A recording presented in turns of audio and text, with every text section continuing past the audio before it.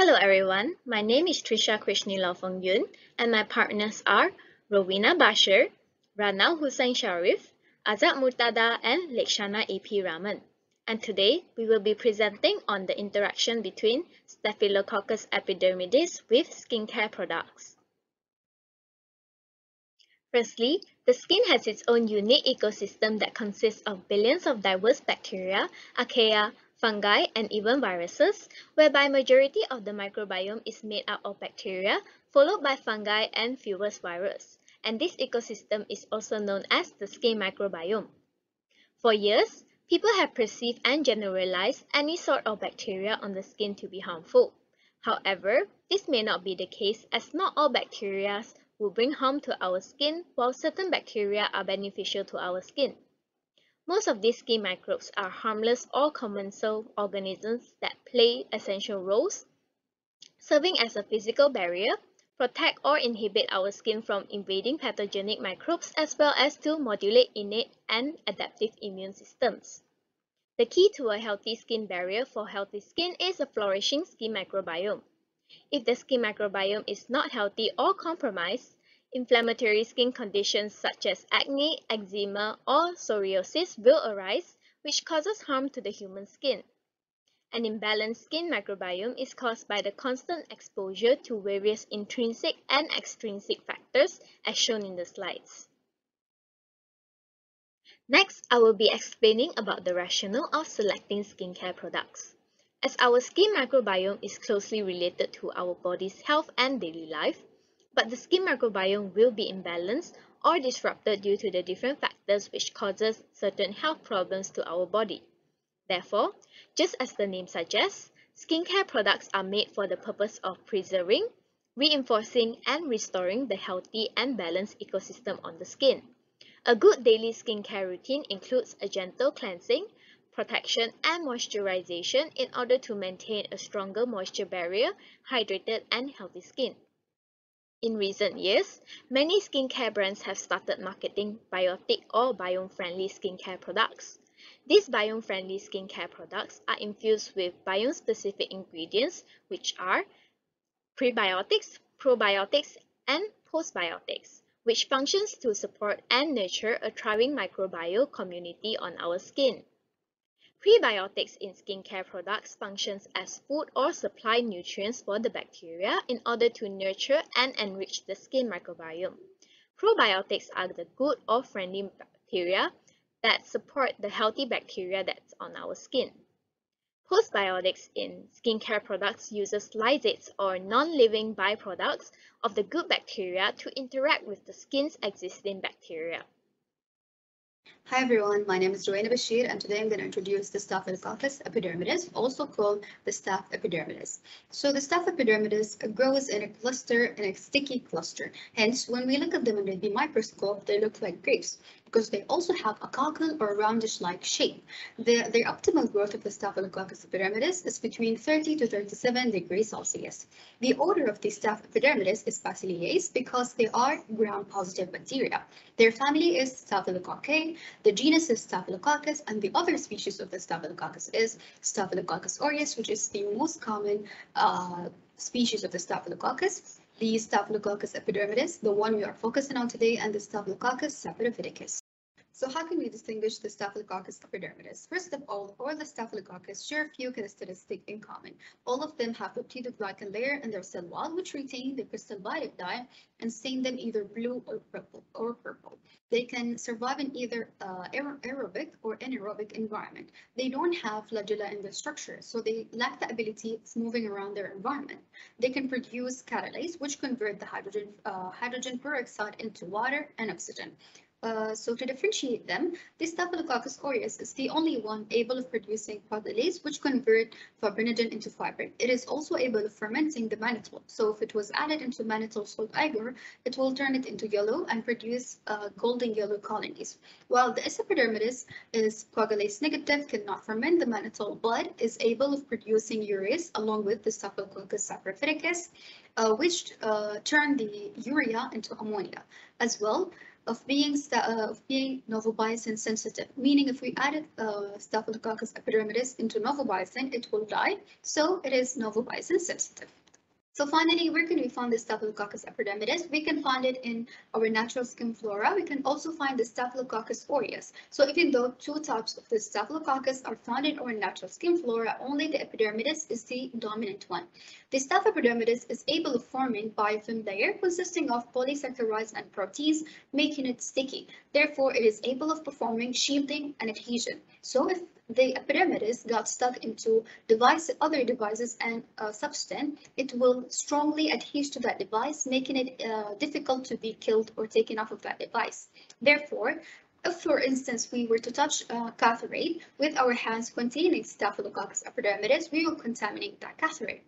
If that catheter was injected into a patient, the patient will be infected because it is commonly related to devices-associated infections. So even though it is harmful when getting inside of our bodies, it is still important for the staph epidermidis to colonize our natural skin flora because it helps us with the development of immune cell subsets. That's it for me, guys. Thank you very much.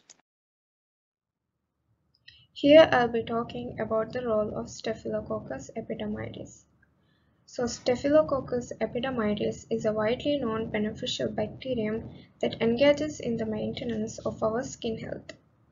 They play a very important role in the ecosystem as they protect and prevent the microbiota disequilibrium by fighting the pathogens and participating in the skin homeostasis through the production of beneficial metabolites.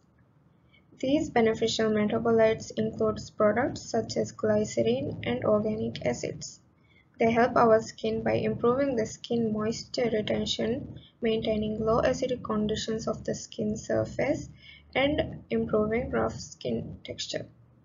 Another important point is that the antimicrobial biosubstances produced by S. extinguishes the colonization of the Staphylococcus aureus which is a pathogen that is accountable for an array of skin conditions and diseases such as eczema. So I'm Azad and I'm going to talk about the mechanism of Staphylococcus epidermidis. So the main role of Staphylococcus epidermidis is to protect the skin against any harmful pathogenic bacteria. But how does it go by that? So it has to come with interaction with receptors that you will find on the plasma membrane known as toll-like receptors. So a ligand is going to be produced and it interacts with toll-like receptor 2. And when that happens, toll-like receptor 2 is going to react with toll-like receptor 1. And it's going to create a heterodimeric structure and that conformation of the structure is going to trigger a response from inside the cell. So that response could be, um, so that response is going to be keratinocytes being stimulated. And when they are stimulated, they're going to induce antimicrobial peptides. And this aid, once again, in the protection against pathogenic bacteria. So that induction of antimicrobial peptides is going to open up another pathway called nuclear factor kappa nuclear factor kappa light chain enhanced B cell. And basically, it's going to alert the B cells to produce pro-inflammatory cytokine cells. And this is a protein that aids in any inflammation. So it comes to the site and it heals tissue that was damaged or is in the process of being damaged. So now this is part two of the mechanism of Staphylococcus epidermidis. So lipoteichoic acid, which is a structure that you will find on gram-positive bacteria like Staphylococcus epidermidis, induces microRNA 143 and it has a very prominent role in the regulation of keratinocytes and hence it's very beneficial in inhibiting once again any inflammation that could be caused by pathogenic bacteria but not only pathogenic bacteria, inflammation that could be caused by trauma on your skin. It's also important to note that when the toll-like receptor 2 is activated, the plasma membrane the tight junction in the plasma membrane increases and that contributes to the skin's homeostasis. And finally, we're going to talk about the production of bacteriocins. So Staphylococcus epidermidis, it has the potential to produce virulence factors when it is um, when you find it in very high numbers and it becomes out of control, it can produce biofilm, which is very, very harmful to your skin.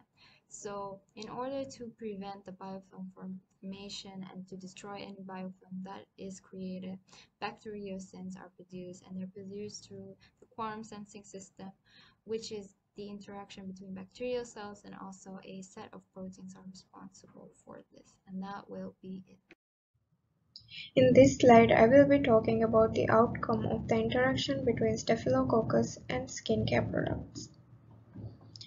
The outcome that stood out the most was the anti-aging properties that is provided by the S. epidermidis on our skin. What they do is that they release superoxide dismutase, which is a non-destroyer of reactive oxygen species. Reactive oxygen species is a factor that is responsible for the aging of our skin. Hence, various beauty care products that work with the development of Staphylococcus epidermidis on the skin surface have been created to take advantages of the healthy skin benefits that is provided to us by Staphylococcus epidermidis. Moreover, a research was done by Nodake and a team of scientists where they collected Staphylococcus epidermidis from the participants and they cultured it for proliferation. After that, they applied the culture continuously on the participants' own skin twice before sleep for four weeks. This was to increase the colonization levels of Staphylococcus epidermidis. The result of this experiment showed that the treatment increased the lipid content of the skin.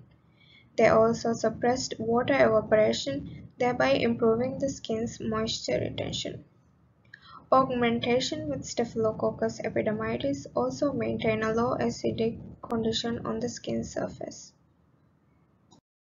Now, let's discuss the positive and negative impacts of Staphylococcus epidermidis towards humans. Firstly, let's discuss about the positive impacts. S. epidermidis, when infused in skincare products, have the ability to maintain a healthy skin barrier and prevent skin-based diseases. So, why is this said so? This is said so because S. epidermidis consists of certain antimicrobial properties, such as peptides, which inhibits selective pathogens that are present on human skin. S. epidermidis, together with a bacteria species known as the Staphylococcus hominis, is also said to have the potential to treat skin-based diseases like atopic dermatitis. Atopic dermatitis is usually caused by the increased levels of a bacteria known as Staphylococcus aureus that are present on human skin. Therefore, by creating skincare products which incorporate S. epidermidis in it. This will then help reduce the amount of S. aureus present on the skin of individuals with dermatitis, which will then help the individuals maintain a healthy skin microbiome. Now, let's move on to the negative impacts. Now, let's look into the negative impacts of S. epidermidis in skincare products towards humans.